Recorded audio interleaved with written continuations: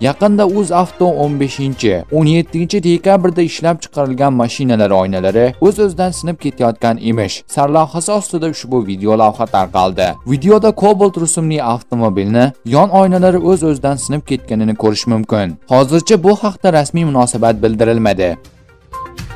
Ertalabdan do'stlar kunimiz juda ham bir zo'r boshlandi. Oyna prostak o'zidan o'zi sinib ketdi. Kommentariyada aytinglar, nimadan bo'lishi mumkin?